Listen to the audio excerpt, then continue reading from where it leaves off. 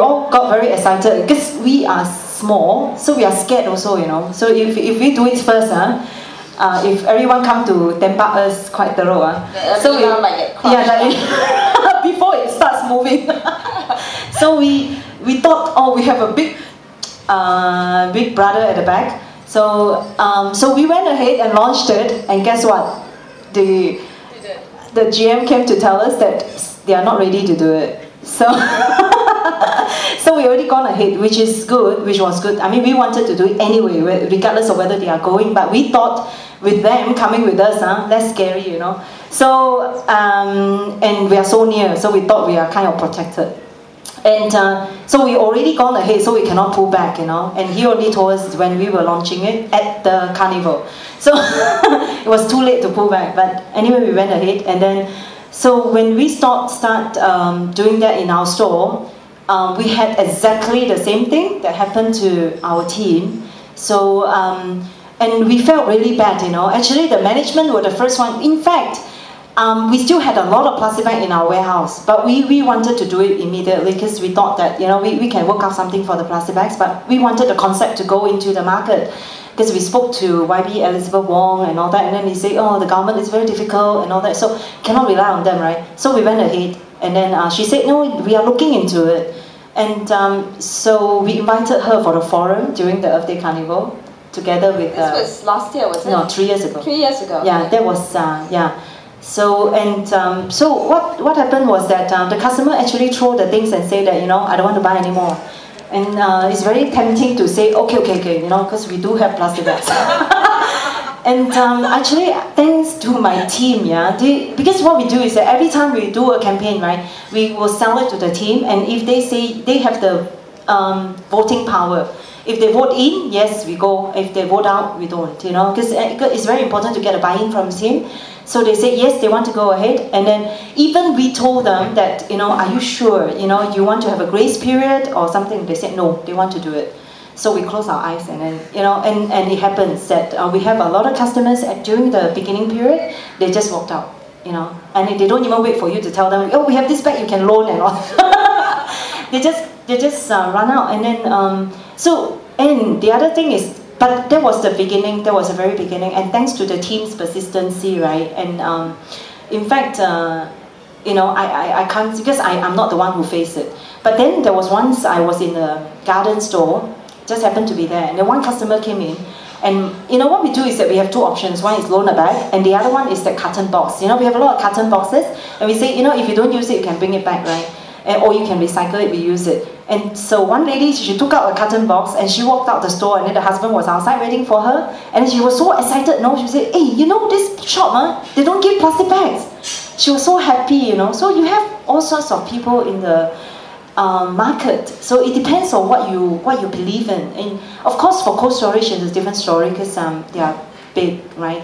So I, I, I know that because I um, we worked with Jusco before on a their Earth Day campaign. They invited us to be a co-organizer, and um, the corporate communication team actually, um, you know, had a you know organized a meeting with me, and she asked me how did I do it, you know. So I shared with her, and she said it's impossible for Jusco, because the team.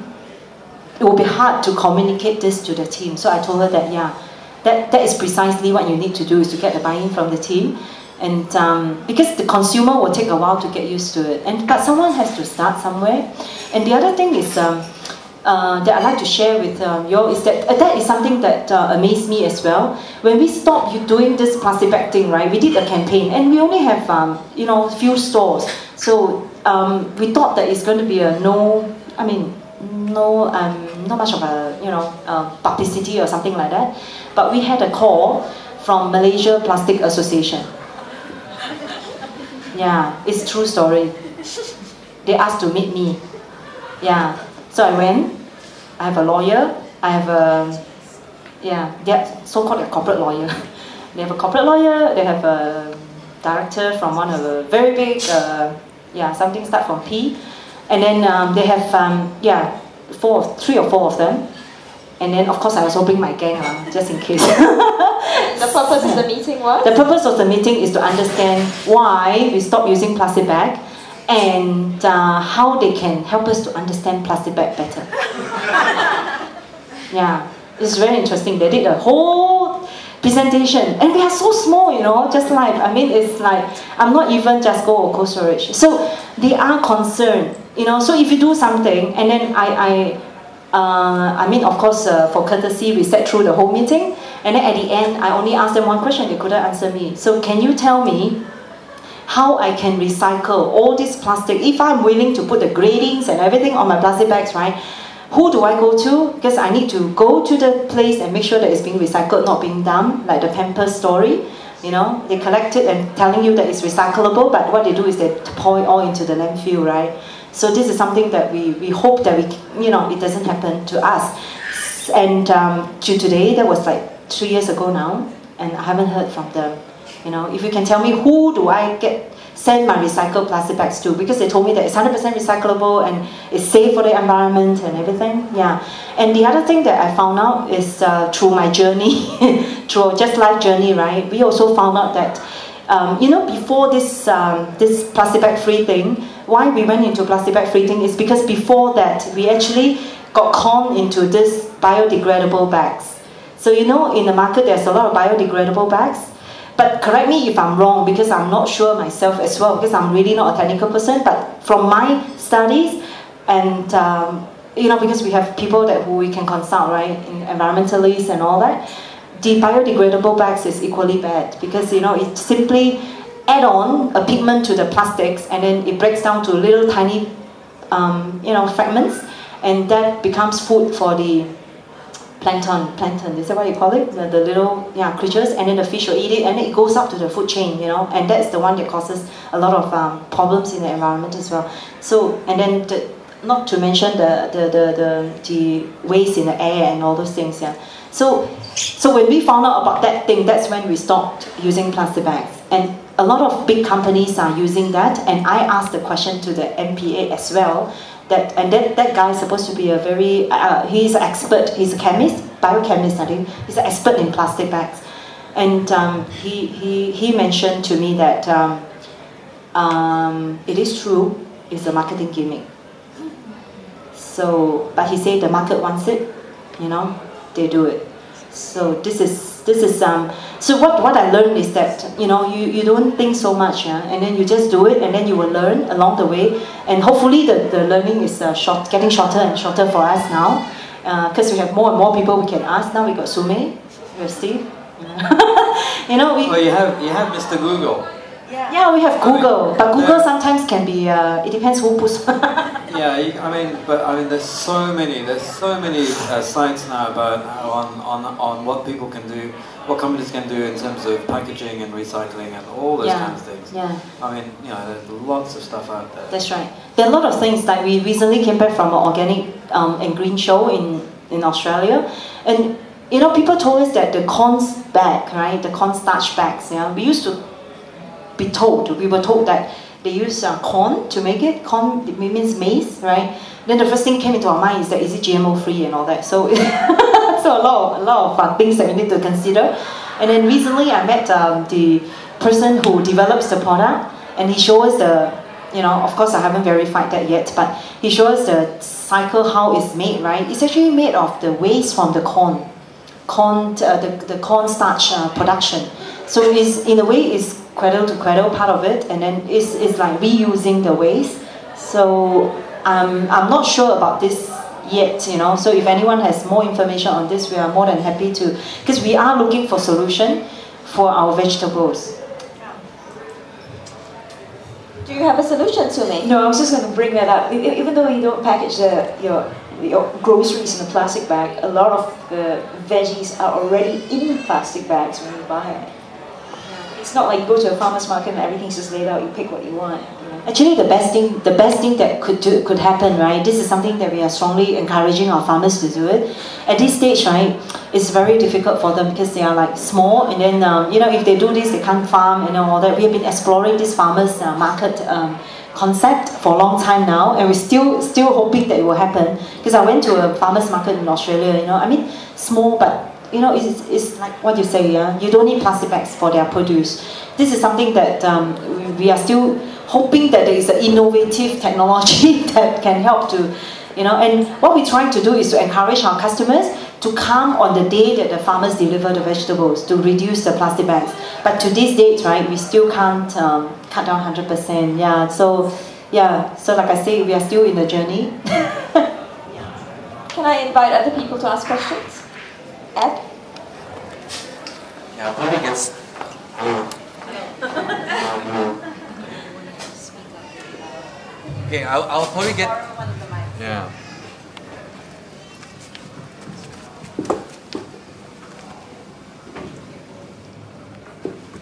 Okay, you're all talking about plastic bags. Um, you're probably going to stone me for this, but I actually miss my plastic bags because I'll explain. Because I need to throw my rubbish, right? And I'm so used to using my plastic bags to throw rubbish. I've tried those blue-colored ones, right? Uh, small ones, and they don't work because you know things leak and all that. Doesn't doesn't work. So, what solution can I have? And I live in a condominium, so I can't like do the, the you know what do you call that the composting thing. I can't do it there, so I can't do that either. So, what do I do? Uh, get in touch with the condo recycling team, Eco Warriors. Uh, I'll give you the, I'll give you, and, and they've, they've got all the solutions for what you do in the condo. You have a question, Yang Mi? Yeah. Um, how do you guys dispose of your own household garbage? Okay, um, we are still human. We have consumption as well. So the main thing, the most important things, right, that um, that uh, you know we we, we must uh, remember is that. Um, you do within what, what you can, but I think what is important is to find out as much as you can. Like you know, you, now you know about this Eco Warrior, and uh, we recycle almost everything. Um, and we what, what we try to do is that I, I live in a condominium, but we do have a little small garden, so I still do composting. And the other thing is that because um, I don't cook meat at home, so I really have very little waste. Um, so it's, if you want to have the cake and eat it, right, you have to do some changes in your lifestyle. Like, um, you know, I, I mean, when, when I look at it, um, the, the amount of waste that we created from our habits, right? So then I go for an option that is less has lesser impact. So you can cut down on certain things. And the other thing is to um, of course buy less processed food. That is the that's the best, yeah. Because all these are in package. You, we can't avoid, but we try to minimize. How about you, Su Mei? How do you get rid of your waste? Co- compost. So my parents' place, we have a. It's so easy to compost.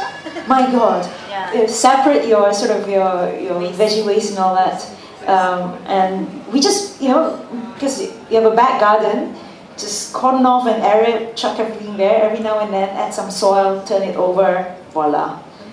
Uh, and you know, paper is separated and sold and everything. Like, just, I think recycling is one of the easiest things that anybody can do um, as a start. You know? And Steve, do you have a formula for your waste? I don't, oops. Sorry, I, I don't really have a formula.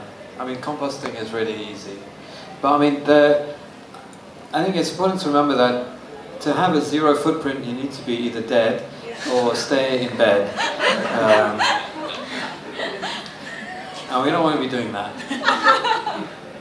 Uh, so,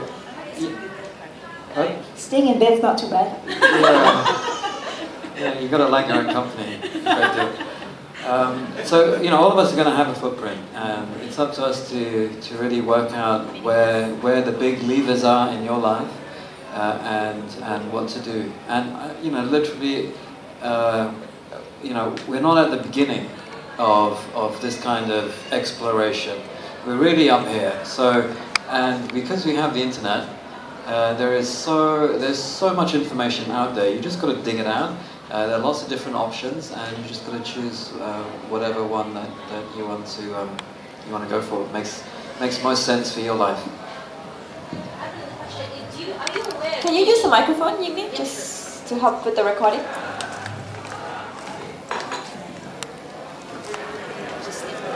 Um, I'm, I'm, I guess I'm not a very informed consumer, but I try my best to be as green as possible.